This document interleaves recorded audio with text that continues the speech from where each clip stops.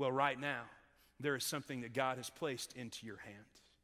Maybe it's a challenge, a tribulation, a trial, an opportunity, a broken relationship. There's something in your hand right now, in your life, that you can't make heads or tails out of. You can't see God's purpose and His plan in it. Today, would you take that, whatever it is?